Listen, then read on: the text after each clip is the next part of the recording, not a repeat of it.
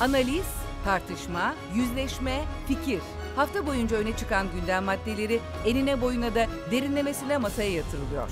Mustafa Karalioğlu, İsmet Berkan, Burhanettin Duran ve Medaim Yanık Türkiye ve dünya gündemini okuyor, gündem oluşturuyorlar.